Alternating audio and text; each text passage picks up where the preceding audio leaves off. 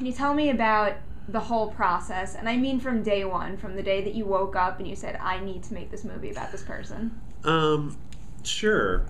I started writing this script for Meet Monica Velour um, when I was stuck in traffic coming back from upstate New York, and uh, I'd been thinking about a, you know, movies all start as themes and sort of characters, and I'd been thinking about some different kind of characters, and I was sort of thinking about basic themes of the movie, and I just uh, pulled a. Uh, um, a speeding ticket from my, my friend's glove box and I started writing on the back of it and I kept writing the whole time uh, we were stuck in traffic, which I think was like it was like two or three more hours before we got back, and uh, and that was the seed of it. And you know, the first thing I started doing was I started writing a biography of Monica, and I wrote all the films she made and where she was born, and you know, sort of tr- tried to make that character real. And um, then I started writing it. I think it took me about eight months to finish the first draft, and it was finished in 2005 and or late 2004, and it's 2011. The movie's coming out, so uh, and you know, honestly, I'm lucky to have it come out at all. I mean, I uh, years ago I visited a guy named Steve De Jarnatt who uh, directed a couple movies and he writes a lot for TV and you know he makes a good living in L.A. And his kitchen is filled with scripts that are from the, the counters all the way up those long you know those big IKEA uh, cupboards are filled with scripts of movies that'll never get made. So, including like you know he was on that uh, that blacklist or whatever that is that list of the best unproduced scripts in Hollywood. He had a script on that, never got made. So.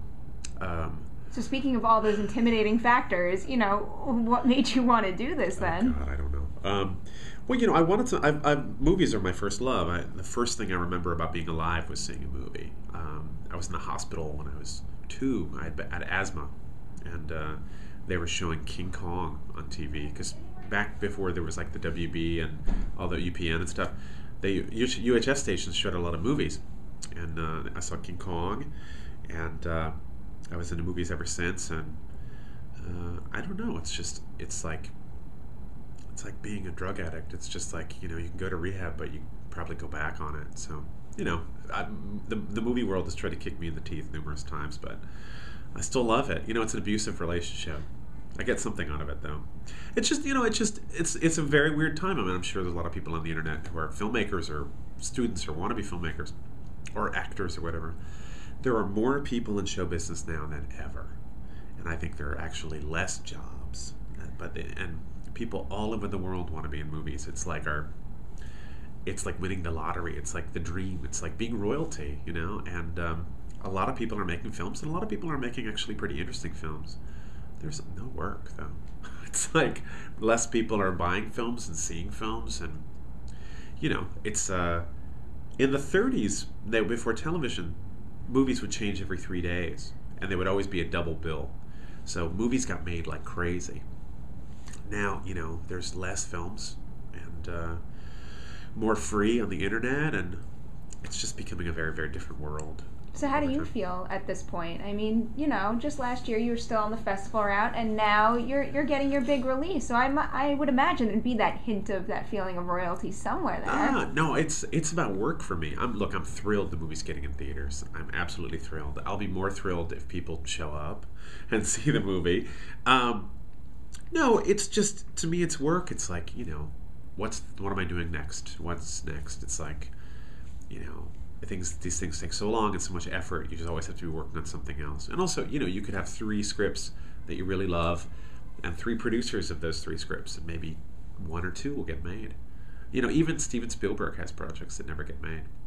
Uh, so no, it's it's great, but it's work. You know, press is work, premieres are work. You have to show up on time. You have to say the right things it's like it's like a job interview all day long.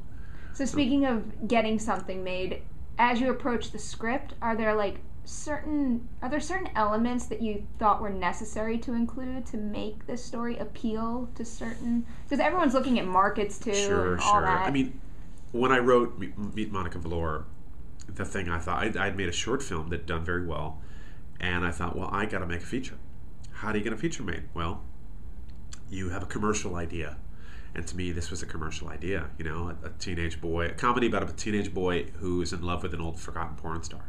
It's like, well, it's got sex, it's got teenagers, it's like commercial. You know, my approach to it, I think, was a little bit non-commercial, but um, you know, it was high concept. So yeah, for sure. I mean, you know, if I have other scripts that are not so high concept and don't have a big part for a over 40 actor or actress and uh, those didn't get made you know it's or not yet so yeah you, i mean you have to sort of think about that a little bit or i did and it worked And how does that come into play with casting too? Because like you did get Kim, and Yep. then you got Dustin, who's very good. But you even mentioned in the roundtable today you had someone like Clark Duke come in, and you know I, I know him from some of his bigger films more so than I had Dustin before seeing this. Yeah. So what made you go that route? Well, it was a, you know, outside of someone like Michael Cera, uh, or maybe just an I Jesse Eisenberg, who's who's obviously too old to play Toby. Um, teenagers don't really make. Nobody will give you a million dollars because you have a teenager who's well known. I mean, Clark Duke. No one's going to give him three million dollars to make a movie. He, he's very funny, um, but also it's about you know it was something, and you know, God bless my producers who saw that this was the case you really need someone to carry the movie. He's in every scene, and if he's funny, that's not going to carry a movie like this. I mean, it's going to be funny, but it's going to be like sketch comedy. Um, and Dustin was funny, and Dustin was a good enough actor where he could give the part depth and range, and they were very. They realized that's what needed to happen, and I did too. So Going back to the fact that you had Clark come in and audition as well as someone like Dustin, it that makes it feel like maybe you had a very broad idea of who Toby was at the time. Yeah, I mean, originally he was a fat kid in the script, and but you know when you talk to casting people, it's like there's actually not very many fat people in acting. If you're fat, I totally recommend getting into acting because that's the last people that get into acting, and there's no fat. I mean, it's you know it's a niche market.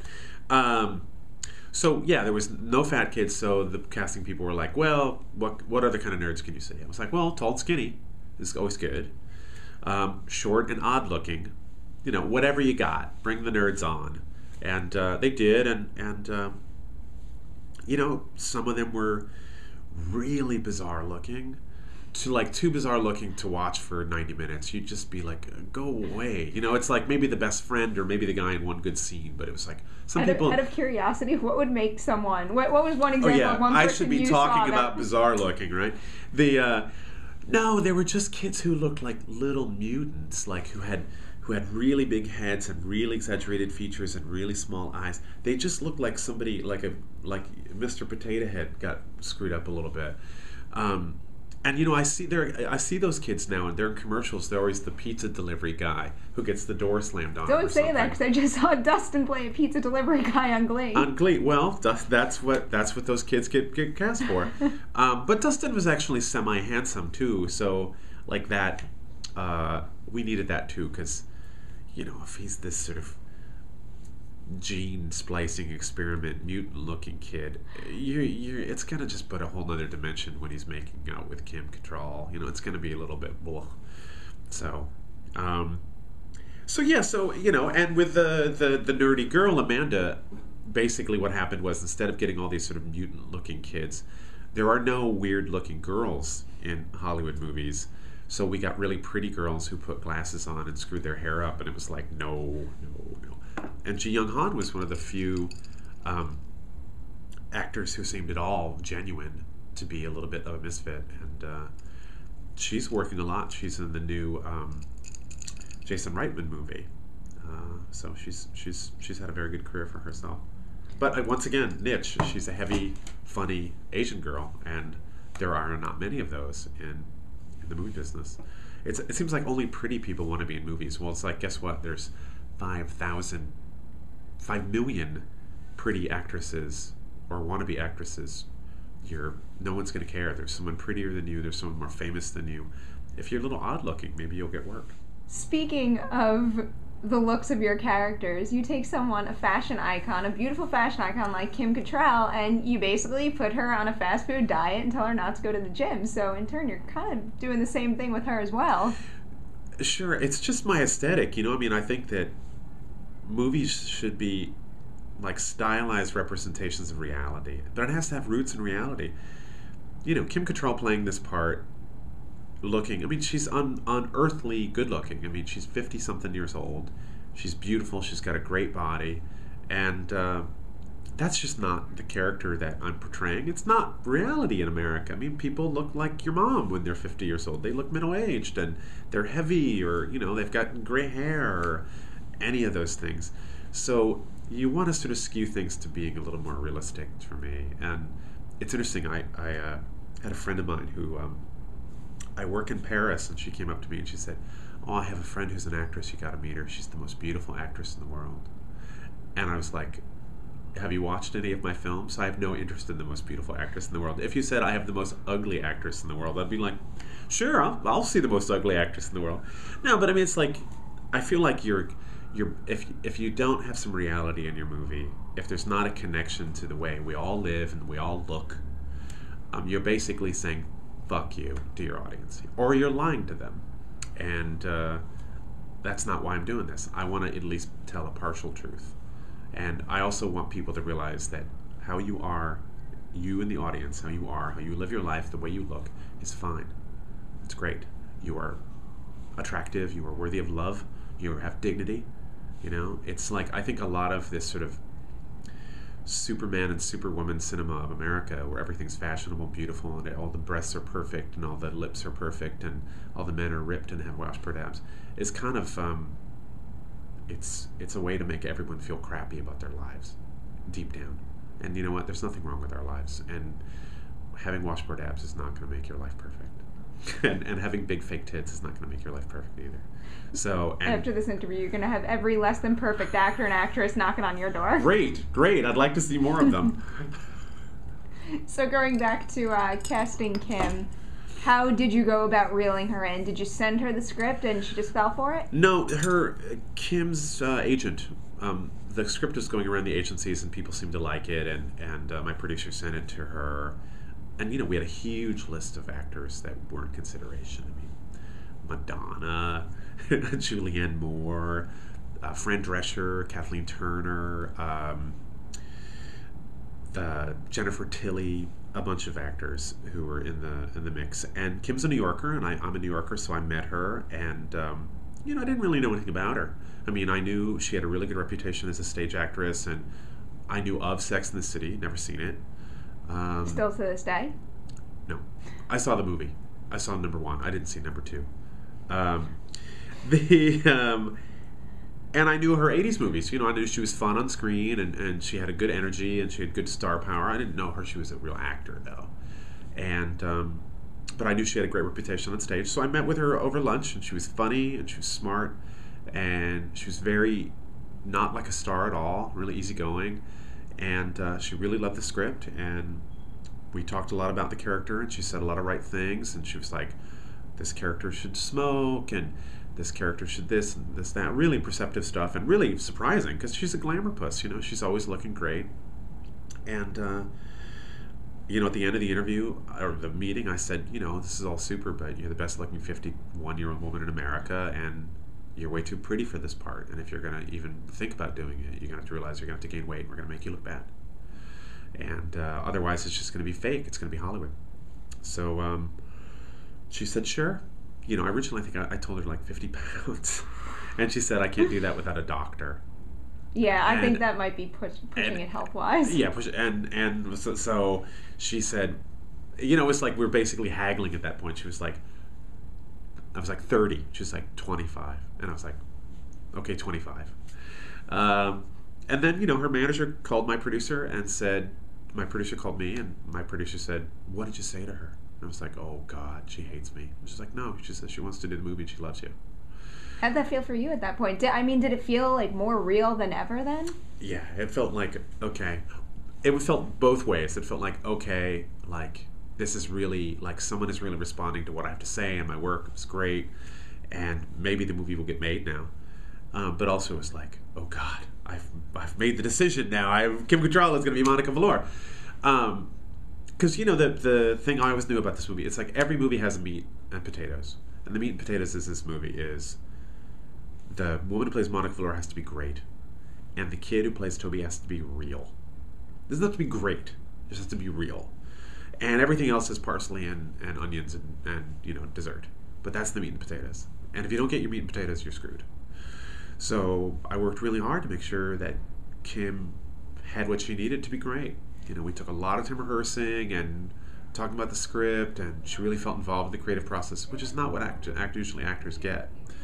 And for the for the kid, you know, I really talked about how he was feeling. For Dustin, you know, what was real, and made sure he wasn't too Hollywood and too corny, and so uh, yeah, so you know, you can only get you can't get everything with a movie, you know, unless you're Stanley Kubrick and you take two years to make it and you control every single element. Especially in a low budget movie, like you're getting like sixty percent of what you want, and uh, you're doing good. Because I think a lot of movies you watch them and you're like, what was happening here? Like, why is this coming together? It's because it's uh, things can just get away from you, you know.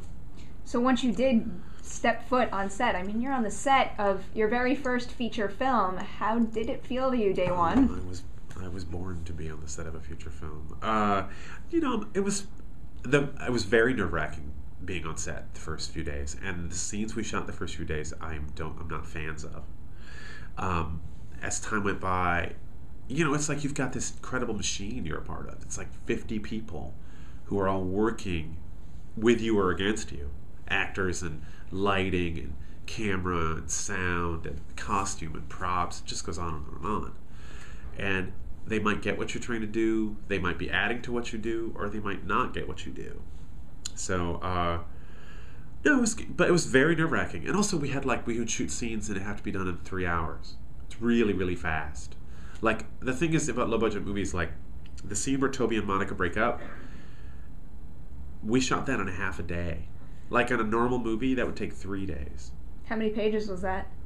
Like, three and a half, four pages of script. Uh, so, yeah. So, you know, real movies take like 60 days to shoot. We shot in 26. So how did you approach it in terms of, you know, particular shots you wanted to get versus the amount of takes you might have wanted to have?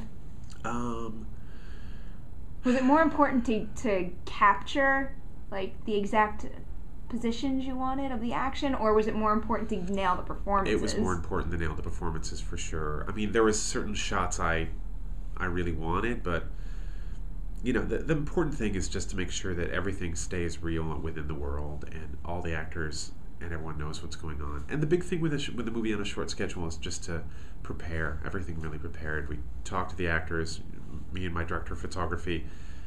We went through every location, described beforehand exactly what we're going to do, because you just don't have time. Like the scene where uh, Toby goes back to see Claude, and they're making a sign, and they hug, and then he's he's hitchhiking.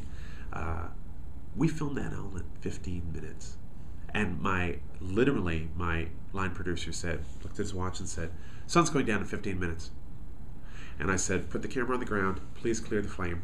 And you know you have you have a hundred people around you, so I'm literally as they're starting the scene, seconds like a second before the scene you see in the movie, there's crew people walking through the scene with sandwiches because I'm like, "Clear the flame!" I can't even say "clear the frame. I was like, "Get away! Go! Go! Go! Go! Go!"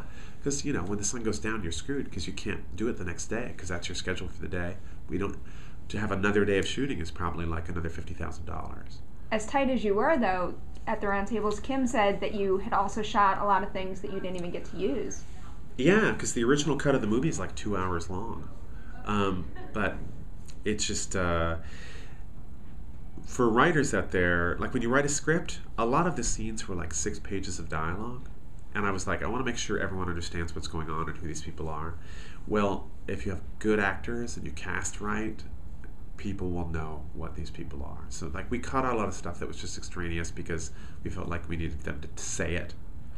But you feel it in the performances, and you know, there's a lot of stuff visually that's happening that in between the lines that says all the stuff we needed to say. So, um, it's a lesson learned. Economy, you know. So last year when we spoke, you told me about God Hates Kansas. Compared to then, where has this piece moved now? God I'm- Hates I'm, Kansas I'm has- very curious. God Hates Kansas has a producer. Uh, so I have a producer, and the contract is signed. Uh, we're talking to casting right now. We're this next week. I'm I was meeting with casting people in LA, and you know um, we've made a couple offers to people.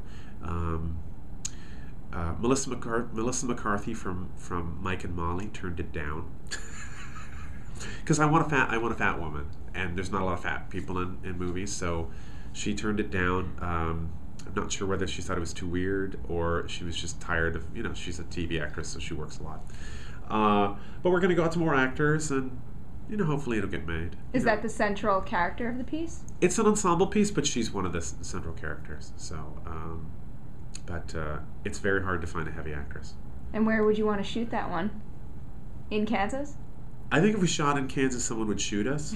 so even though it's not anti-Kansas or anti-God, um, but the name God hates Kansas would scare people. Uh, I don't know, um, maybe Michigan or Missouri, just because they have very good tax rebates. That's why everyone's shooting in Michigan because they have really good tax rebates.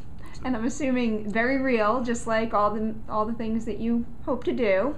Yes. So, you know, an, an, an end of the world kind of thing, a disaster piece. Yeah, it's just like it's a disaster where nobody knows the world's ending. It's like it's like a lot of things. It's things come and you don't. It's by the time you know, it's kind of already done. So we're not talking crazy CGI or any Oh no, anything. no, no. All right. no, it's like a three million dollar movie. There's no there's no crazy CGI.